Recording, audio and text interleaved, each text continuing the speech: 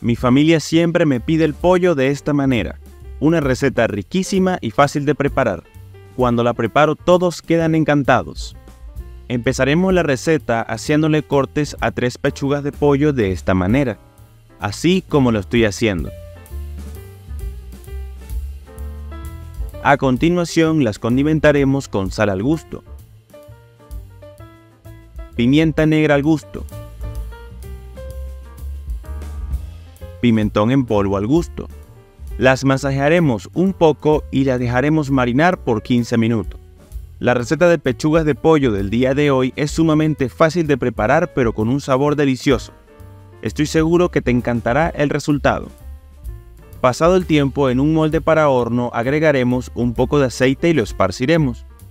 Cubriremos con un poco de papel encerado y agregaremos las pechugas.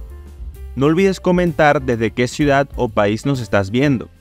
Nos gustaría saber hasta dónde están llegando nuestras recetas y enviarte un saludo muy especial.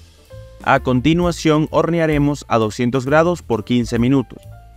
Mientras tanto, en un bol agregaremos 3 cuartos de salsa de soya, 4 dientes de ajo picados, un cuarto de taza de aceite, pimienta negra al gusto,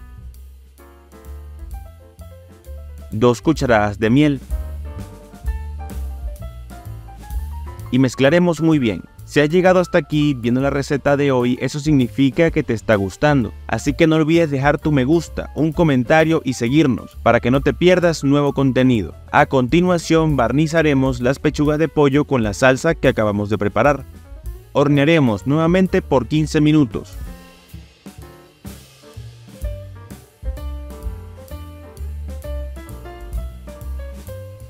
Voltearemos las pechugas y repetiremos el proceso una vez más.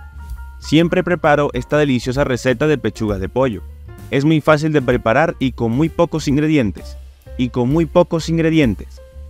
Pasado el tiempo, nuestra deliciosa receta está lista.